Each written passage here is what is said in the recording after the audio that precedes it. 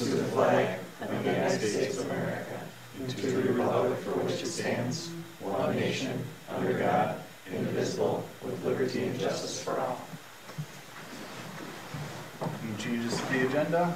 Uh, no, Mr. Mayor, just note all of the reports were handled under the work session except for under administration or the community survey item. Oh, I thought we were covering that at the work session. Um, that was my fault. All right. Okay, any motions? Motion to approve the agenda. Motion by Josh, Second. second by Kate, all in favor? Aye. Aye, agenda's adopted. Uh, first thing, we have a presentation. Um, it's not a real formal presentation, but uh, as everyone knows, we were recognized by SafeWise as the safest community or safest city in Minnesota. So, and this is, what, each of the last five years, I think we've been on there, or Four out of the last five years four were of in the the last top five five, years. yep. So it's a a tremendous credit to the police department and administration, and, yeah, here's the certificate if anybody wants to see. I think that's all we're gonna do for the presentation, Okay. so. Uh, moving on, public comment. Anyone here for public comment? All right, we'll move on to consent. Motion.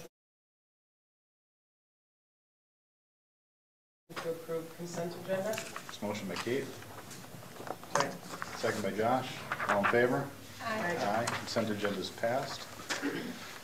On to public hearings. Livable Communities Act. All right, I promise I'm gonna keep so I don't have too many slides to go through.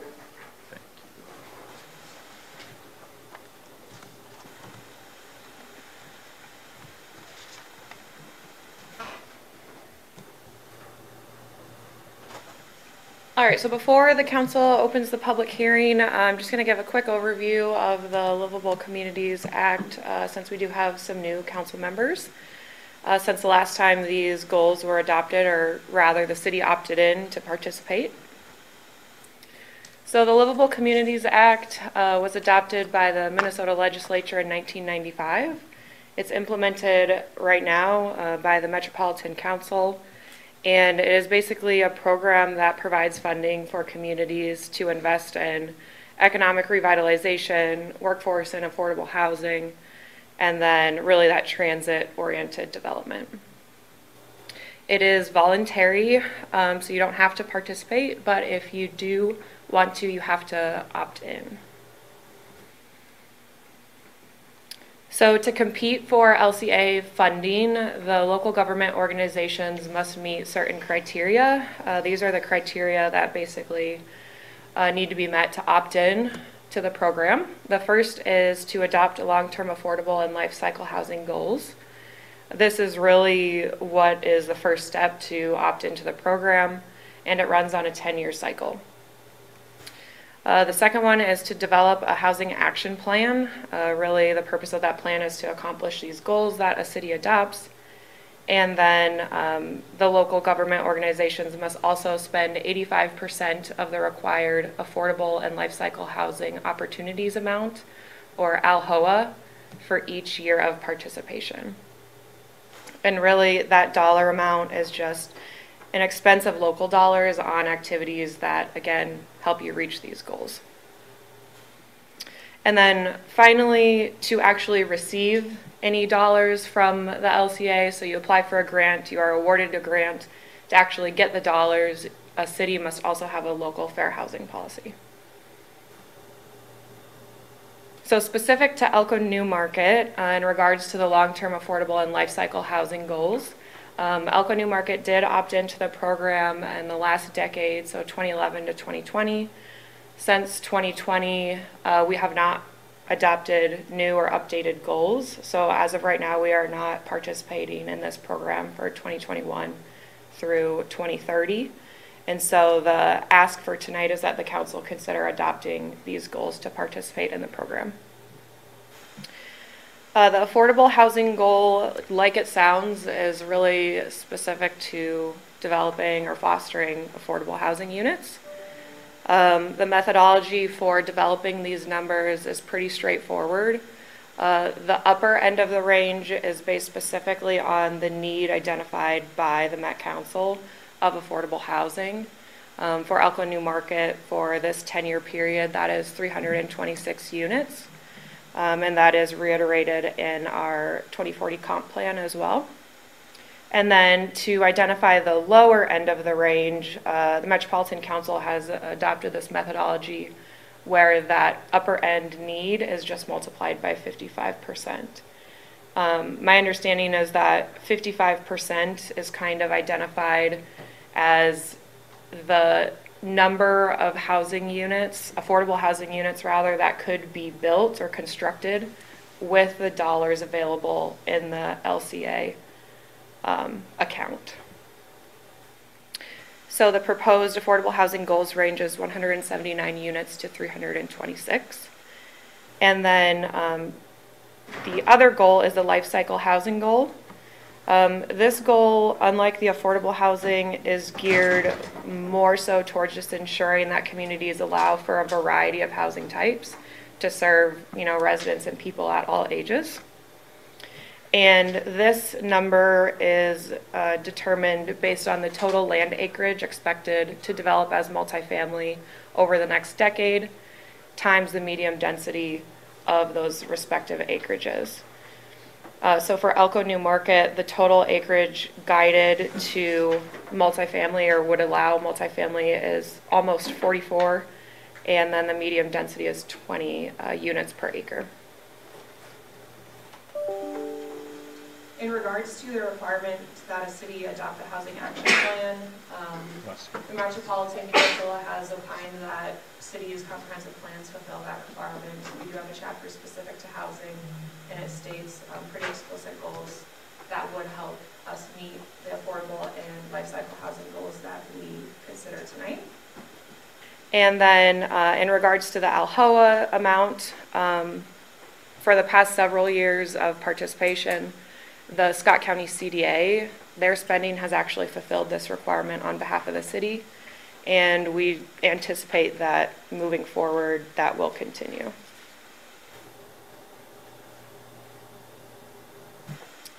And then finally, again, um, at some point, if the council does uh, choose to opt into this program, we apply for funding and receive it. We would um, need to adopt a local fair housing policy. Doesn't need to happen immediately, but something to consider for the future. So at this time, I'm just asking the council to hold the required public hearing uh, related to participation in the LCA program and uh, the proposed affordable and life cycle housing goals, and then consider adoption of resolution number 21-63. Okay, thank you. So we'll open the public hearing at seven oh eight. Anyone? Patrick, you got anything for us? All right, we're gonna go ahead and close the public hearing at seven oh eight. Um, council discussion?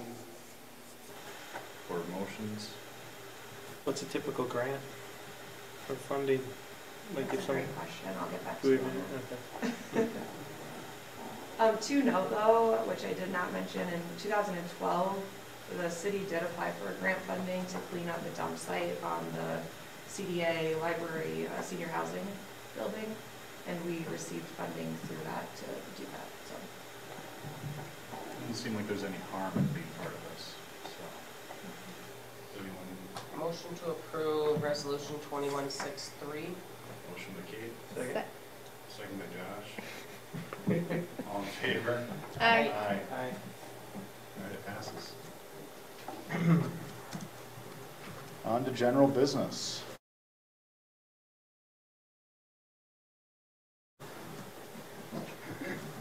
So under general business tonight, we have um, an ordinance for council consideration to address pawnbrokers and precious metal dealers. The council recall that we placed a moratorium, um, put it in place this year to allow sufficient time for us to develop an ordinance for adoption. Um, That has been Haley's project, and she'll be presenting on this particular item. Yes. Again, uh, I hope to keep this short, so just move right along. Um, background, in the summer of 2020, so just over a year ago, we did receive inquiries from a property owner about the potential for locating a pawn shop in the New Market downtown area. Um, Just in responding to those inquiries and reviewing the city code, it was determined that as of right now, our city code does not have any specific regulations related to pawn shops or similar retail type shops. Um, and it would pe- be permitted in any zoning district that allows retail. Um, This quickly led to concerns by city staff, um, and as Tom mentioned, the council did adopt a moratorium um, on the establishment of pawn shops, and then also directed staff to consider city controls to regulate these. So that moratorium was adopted on September 24th of 2020 and lasted one year, so it has since expired. And for this slide, I'm going to invite Chief Jewell to discuss some of the public safety concerns which led to these regulations. So, um, I went through a similar process in Chaska prior to coming here. Um, Scott County has several pawn shops in different cities throughout, um, the northern portion of the county. Uh, pawn shops to, um, not beat around the bush are basically legal fences for stolen property. Many items that are stolen do not have serial numbers and there's no proof of ownership with them. Uh, pawn shops are ways for people to turn stolen items into cash, uh, is the basic premise. Um, in working many, as a detective and working many stolen item cases, uh, oftentimes these would turn up at pawn shops near Chaska. And uh, that's the basis of my opinion. It's not personal, it's professional. Um, Many items are stolen due to drug habits and drug addictions and the need for people who cannot work due to their drug addictions. It's a way for them to make money to supply that. Um, I've worked easily hundreds of cases and know of hundreds of cases where the items end up at stolen fence properties. May I advance? Um, pawn shops create a huge demand on law enforcement. You might think, well, how is that? Well, pawn shops, and part of this ordinance is requiring the pawn shops to register everything that comes in that has a serial number onto what is, they've changed the name, but it's called an automated pawn network. Everything that has a serial number will get entered in. Whenever somebody pawns something, they must show a photo ID, a state-controlled photo ID, when they pawn that item. You might be thinking, well, that's a great thing, because if you recover stolen property, you know who pawned it. It is a good thing, and oftentimes you can get that property back to the owner. But in order to do that, it takes an extreme amount of law enforcement labor to do that. Oftentimes, not netting charges because the burden of proof to show that that person stole that item is extremely hard. So you're doing a lot of work not to recover somebody else's property and not getting charges from it. So it's not doing society good that you're charging people criminally for this. So it takes a ton of time, not just on, for our city, crimes committed in our city, but we will be doing work for other communities. Because what is gonna happen is, when you steal something in one community, you don't go to that community to pawn it, you go to another community. Because the locals will know what was stolen and can easily check. So we'll get, um, Blaine, Brooklyn Center, Brooklyn Park stolen items down here. Those agencies don't want to drive all the way, so they call the local jurisdictions that have the pawn shop, and we have to spend our time investigating their crimes. It's just, no one has the resources. So, it's not only our community, but it is other communities impacted that we do the work for them without getting any of the, not helping our citizens. Um, just as you can imagine, if you go into a um, pawn shop, you see cell phones, home electronics, construction tools are huge. Many of our stolen construction tools from our sites end up at pawn shops because people just don't record those serial numbers and there's no way to get it back. Um, moths to a flame theory. Um, when you have the pawn shop, there's criminals coming to that pawn shop. Oftentimes, that can lead to them being in our area and taking advantage of our community members. Um, someplace close, they might not pawn it here, but we're bringing them to our community, which is not exactly what you want. Um, this will put our city on the map for people we don't really want to be here. And is not having a pawn shop near here, we're going to attract people. Obviously, not everyone that uses a pawn shop is a criminal, but there are many that do. They're not, gon- they're going to be coming from Owatonna, they're going to be coming from Northfield, they're going to be coming from um, south of us a ways to get to our pawn shops because theirs, they've been banned from or they've been found pawning stolen items. So the benefit to the community is, is not there to bring this type of business in or to not have it regulated. So when I was working with Haley on this and we were working together, I pointed them to Chaska's ordinance. Um, Chaska does not have pawn shops because of their ordinance. And if we are, the mechanism, are you gonna go over the mechanisms of it? Okay, I'll let her do that. Um, before though, uh, any questions about that from, on my part? I'm trying to go quick, so I just don't, trying to paint a picture quickly, Bob Ross like. All right. Uh, so as staff move forward with research on what the most common city controls or what our regulations should be, we found that pretty much any city that regulates pawnbrokers or pawn shops is through a business license. Um, so this is, uh, Title IV of the city code. It's under the purview of the city council. It's not, uh, required to be reviewed by the planning commission. Um, however, some cities, in regards to the zoning ordinance, do list pawn shops as a specific use. Um, it is staff's opinion that we should just continue to allow them as retail, um, but then, of course, still require a business license. So as of right now, there are no proposed zoning ordinance amendments, just the amendments to the um, business license section. Uh, So as stated, this is Title IV, um, and the proposed ordinance amendments create a new Chapter 11 specific to pawnbrokers and precious metal dealers. Um, As stated, it requires both to apply for a business license. And uh, the draft ordinance is, of course, attached in the packet, so I'm not going to go over it in detail. But some notable provisions are um, just the outline of the license application requirements, specific ineligibility criteria, um, the requirement of a background check, associated fees in regards to the background investigation, the annual license, and billable transactions, the requirement of a $10,000 bond. Uh, There is also a provision for a per capita limit on licenses based on the population.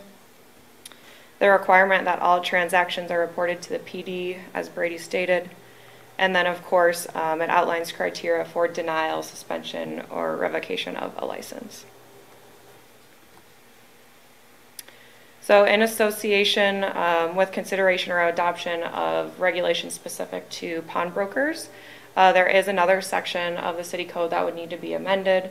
Um, Section 4-1-13 basically just outlines a list of city licenses that requires a background check. So uh, we would be adding pawnbrokers and precious metal dealers to that list. And then um, kind of separately from pawnbrokers, um, this ordinance amendment also removes solicitors from the list of licenses that requires a background check. This is correcting an oversight from a previous amendment that was made in 2019. Um, At that time, solicitors were kind of revised to, instead of requiring a license, require just a straightforward registration. And with the registration, a background check was no longer required. So we just need to strike that from the list. And then uh, finally, in association with any regulations, uh, we need to amend the 2021 schedule of fees. Uh, So you can see the fees uh, stated here for the investigation fee, the annual license, a new manager investigation fee, and then the billable transaction fee. These are equivalent with what we currently require for a sexually oriented business license. Um, And then Chief Jewell has also opined that these fees are sufficient to cover the resources necessary to run these background checks and do the investigation. So at this time, uh, staff is just asking the council to consider ordinance number 236, ordinance number uh, 237, and ordinance number 238. Thank you. Any questions or comments? Tell me about the billable transaction fee and what that means. Like for every transaction that's done, there's a fee charged, and how is that determined? And Um, yeah, so your interpretation is basically correct. For any item that is pawned, there is a billable transaction fee. My understanding is that is because with every transaction, they have to report it to the police, which then creates a demand on our officers. Uh, so a fee is charged to try and cover that as best as we can. Um, the dollar fifty is pretty much standard across all cities. So every community, that was the amount. And that is only on items that somebody's trying to sell there, not purchase, correct? Correct. Pawn, when somebody pawns something there, that would be their fee. It's passed on usually to the customer. So this kind of feels like, uh, hey, we- we'll have an ordin- ordinance, we'll allow you to come in our city, but we really don't want you. Is that uh, an unfair assessment?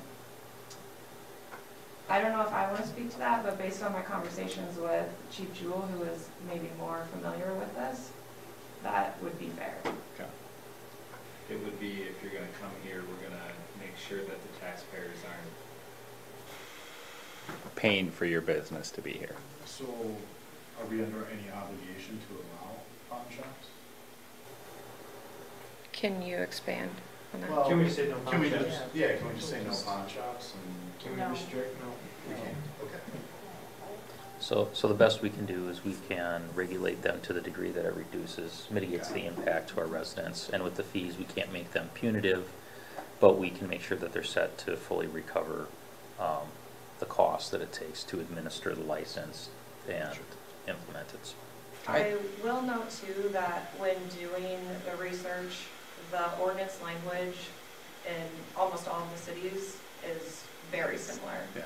almost word for word exactly the same, so it's not uncommon. So these fees are basically unilateral across the board for other cities, the fifteen hundred, the five thousand, the two fifty? I would say only for the billable transaction, they vary. Uh, some cities are much higher, some are a little bit lower. So how did you come up with your fee structure? Yeah, so the fee structure was based on what we currently charge for sexually oriented businesses. Um, because they're similar license in nature and application requirements, it made sense that they were similar in fees. we tried to make the fees reasonable for what a background check would cost. And you're basically paying our detective, our sergeant to do an mm-hmm. extensive background that can take weeks and many hours to. To perform. Wondering if we can jack up a. And an annual license fee is intended to cover our cost annually to administer the license. So all of those burdens on the department and administration over the course of the year, when you have that type of business in town, we would reasonably adjust it over time if we had such a business and once we had experience, but right now, that's our best guess. Okay. All right. I mean, and I guess I would just say that all of this is great, and, uh, I mean, I think it's absolutely necessary, but if somebody really wants to get around it, they're just not gonna report their crap anyway, right? I mean, so they're gonna not, not say that they had any billable transactions today, or leave out the one that I brought in to cover me and, and, Um, And There what- might even be statute to cover that they have to register every item with the local jurisdiction or a commensurate program like that automated pawn network. Mhm. So there might even be something in state statute that refers to that they have to do that, but that is a risk. Right, I mean, I guess I'm saying, let's do it in the driveway, or come over to my house, I mean, I, I can do anything privately, pay with cash. People sell Right. stolen stuff all the time on the internet, obviously, right? Craigslist Yeah. and uh, market, Facebook Marketplace. Um, There are very reputable pawn shops, and they will work, most pawn shops will work with law enforcement. This isn't to punish them, it's just to recover the cost to our community, basically. Because as you can imagine, they're victims too, when they buy something stolen, I wanna portray that too. When they buy something stolen, we come, they might give five hundred dollars for, uh, high-end electronics, something. We come and take that from them, so they're victimized too, because they gave money, you know, out, but, um, so. So we had a temporary moratorium on these until we could come up with an ordinance. We came up with an ordinance. We, it's a business we have to allow, or we have to at least provide the ability if they so chose. Does anybody have any issues with what's being proposed or wanna make any changes? If not, can we do all these in one motion? Motion to approve two thirty-six, two thirty-seven, two thirty-eight. It's a motion by Kate. Second. It's a second by Amanda. Any further discussion? All in favor? Aye. Aye. All right, passes. Thank Thank you. you. Thanks for letting me Thank you, participate. Okay, uh, that concludes general business. We have one item left on reports. So we have a community survey. Um, Council recall that at a previous work session, we had um, Peter Leatherman of Morris Leatherman come out and work with the council on the suite of questions for the community survey. The council provided direction on the basic set of questions. So uh, Peter had updated it based on that feedback, and I provided that revised draft for your review. And then also the council had asked Peter to come up with some sample questions related to topic of growth and development um, within the community. And he indicated he would a suite for you to review, give feedback on, kind of à la carte style. If you want to use it, if you want to use all of them, use some of them, want to tweak them um, for your review. And so those have been provided for the council as well. Uh, I think the intent uh, tonight is for the council to give final feedback, if possible, related to it, and then we would finalize the suite of questions. Peter would finalize the pricing based on that, and we'd have a contract on the consent agenda at the next meeting. And he can move forward with the survey in November. Okay. Anyone have any thoughts or comments on what was provided? I like the development ones. I mean, Yeah. I have no objections to anything provided, I don't proposed. have any objections. Amanda, you've been so quiet. Do you have any big objections? Nope. All right. So what I'm hearing from the council is you'd like the full suite of development questions to be incorporated into the overall survey? Is that correct? Yes. Okay, that, I have direction, and we will get the survey finalized. On to discussion by council. Anyone have anything? No? do we want to bring up the uh, legislative visits or questions Oh, yes. of, if we want, or to, yeah. So as I reported to council previously, I did talk to both our state senator and our state representative, and they are scheduled to come to future council meetings. Uh, Senator Draheim is scheduled to come to our October 28th meeting, so it would be our next meeting. And then um, Representative Farr is scheduled to come to the November 18th meeting. Um, Given that they're coming out to give us legislative updates, we usually have a discussion beforehand to discuss, you know, what are, what are our expectations? So I can reasonably say, hey, here's the format, and touch on these items. Um, and the council ahead of time also discuss what's important, because it's a time limited, you can't sit there for an hour and a half. What are the things we really want to touch on with that particular, um, legislator? So I think it would be good for the council to maybe take time tonight to talk about it, uh, give me feedback so I can let the senators, um, staffer know what we, what our expectations are for that, so, uh, the senator can prepare where you'd like him to. So I, you know, the one thing I'll just say here is I, I keep getting heat from other mayors about wanting us to just pressure him on affordable housing, Senator Draheim. And I'm not interested in turning this into a battlefield, you know, he's, a- there's been letters back and forth from his office to a number of us mayors. And again, like I said, back and forth. I, you know, I think maybe touching on affordable housing is something that I plan to bring up and ask them about, but it's not gonna be an hour-long session of trying to fire bullets at him. Um, What are they asking? Like, they want him to. Have you read the support- Elkins bill Okay, or proposal? yeah. It's, that's basically what they're asking. But I, I don't want this to be an adversarial type meeting, you know, maybe touch on it, but just ask him to clarify his positions a little bit, I'm not really interested in trying to pin him down or get into a debate or anything like that with him. I think he's taken time out of his day to come talk to us and tell us about the legislative session and see what questions we have, so I just wanna keep that piece somewhat low-key. Are there other issues, or other topics that people are interested in? From a staff standpoint, I think maybe just requesting that the senator contact us proactively when he is working on legislation that directly affects cities. Sure.